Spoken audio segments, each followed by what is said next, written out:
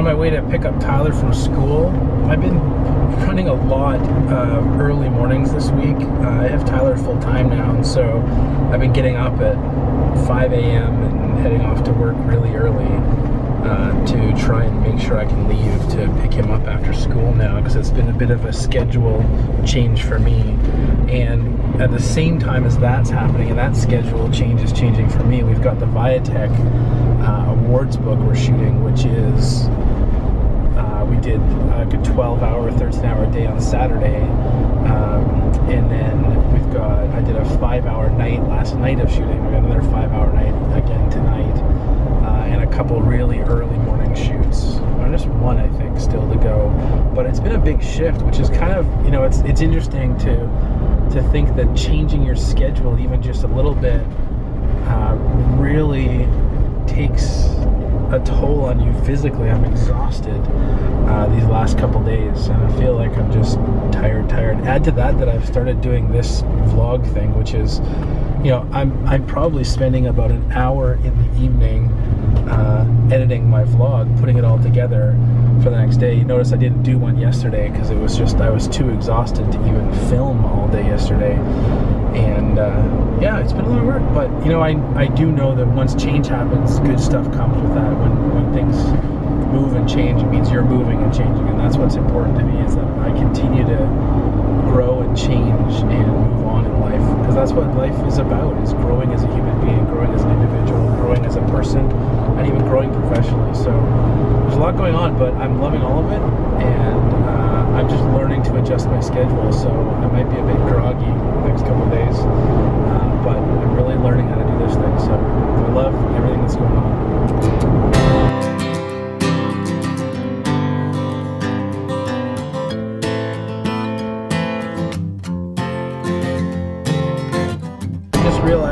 Gone completely the wrong direction to pick up my son from school. That was just proof that I am as tired as I thought I was.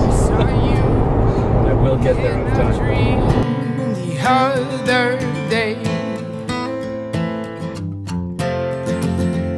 you got up, you walked too far away.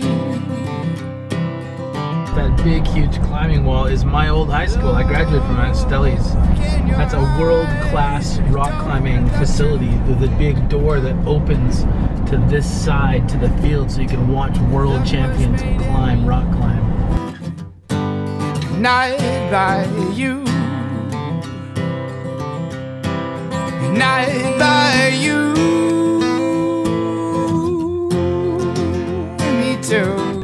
Just Tyler's school. We just gotta wait a few minutes for the bell. I actually got here early, which is awesome. By you. Night by you. Hi, Tyler. Hi. Look who I found. Holy deja vu! this is like exactly like last time. Look, here's Tyler. That was Tyler's hand. That's Marissa. Cousin. Cousin Tyler. Cousin for a walk to avoid that time. To hit my mind, enjoy the real life.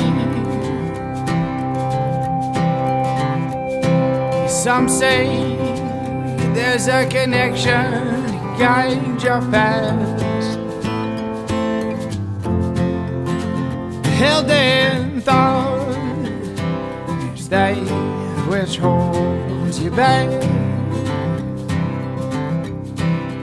Night from you, me you.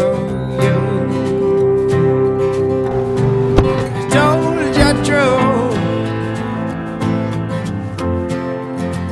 made was blue, and you know that's the truth all it made was blow.